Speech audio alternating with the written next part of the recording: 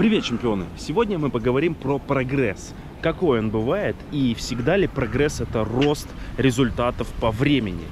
Или в плавании есть какие-то другие прогрессы? Давайте начнем с первого. Первый – это рост результатов по времени. От чего он зависит и что влияет на то, что вы стали плыть быстрее. Ну, возьмем вашу коронную дистанцию. Какая коронная дистанция, я думаю, вы легко определите. Это та дистанция, которая вам нравится и ту, которую вы плавали больше всего. Предположим, коронная ваша дистанция это 1000 метров если мы говорим о любителях плавания. И если взять профессионалов, то это полуторакилометровая дистанция. Вы ее плаваете часто, вы знаете, что вы достаточно выносливы для того, чтобы плыть равномерно, проходя все отрезки каждую сотню, так, чтобы у вас конечный итоговый результат был максимально высокий. Так ли это? Если нет, тогда пора задуматься. Если вы неровно проплываете дистанцию, то есть условно быстро начинаете и потом к концу начинаете чуть-чуть-чуть-чуть затухать, значит вы неправильно раскладываетесь, значит и ваш результат не будет расти, если вы не сможете четко, ровно сделать так, чтобы выложиться к концу дистанции, так, чтобы ваша скорость осталась постоянно быстро равномерной. То есть мы поняли, что Первое, от чего зависит хороший прогресс, это умение разложиться по дистанции так, чтобы реализовать весь свой потенциал, равномерно проплыв каждую сотню, не считая первой и финишной. Самый простой совет, как это сделать, не углубляясь в подробности, это постараться на тренировках разложить свою коронную дистанцию на отрезки и плыть так, чтобы каждый отрезок был равномерно быстрый, но либо с прогрессией. И обычно начинает плавательный сезон с коротких отрезков, потом уменьшает режим отдыха, потом эти отрезки немножко слепляет, чтобы получились чуть более длинные отрезки, и потом в конце концов мы приходим к тому, что уже умеем плыть вашу коронную дистанцию и поддерживать нужную нам быструю скорость.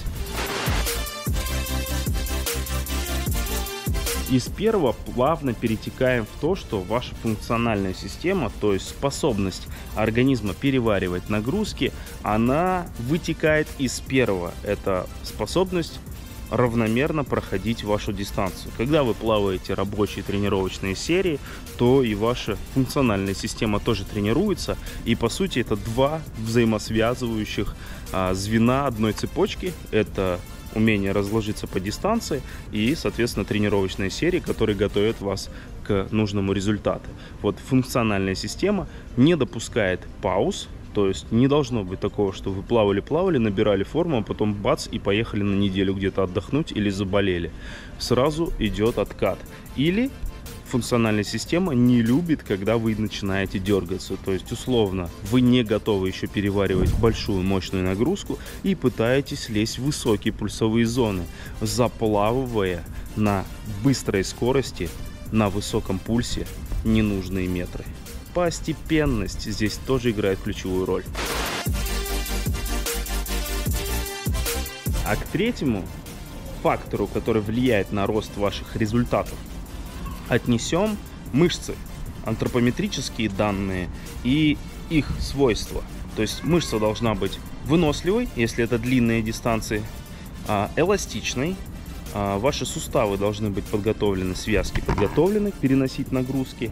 Ну и если вы набираете функциональную форму, да, то есть ваше сердце готово переносить нагрузки, а мышцы либо опорно-двигательный аппарат не могут, условно у вас травма какая-то, то это будет выступать ограничительным фактором в прогрессе.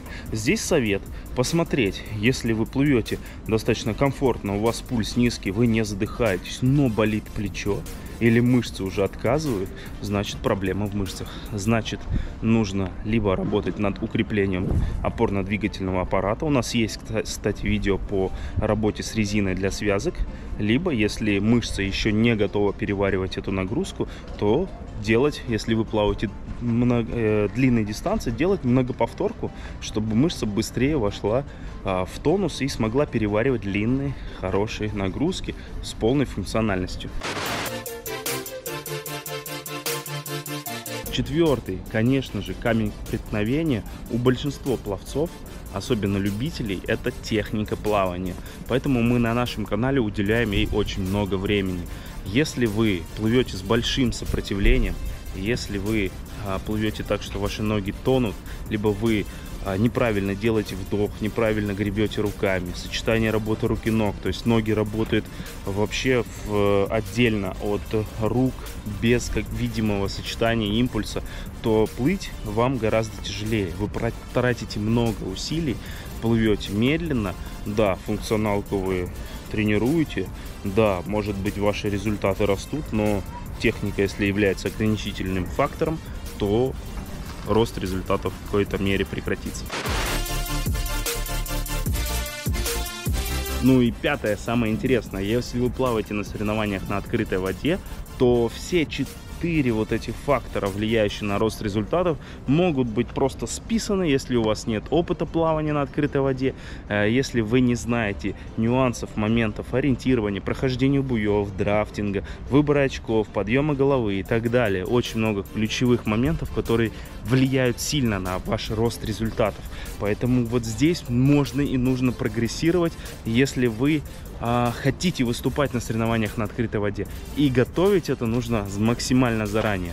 А, кстати, мы подготовили все знания свои, уложили в курс по плаванию на открытой воде. По ссылкам в описании вы его найдете. И вот это пятое очень сильно сказывается на ваших результатах.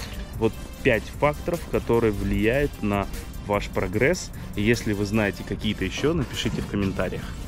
А если по какой-то причине ваш рост результатов замедлился или вообще остановился, вы должны сделать паузу и подумать, какой из этих пяти перечисленных факторов мог повлиять на то, что ваш прогресс встал на месте.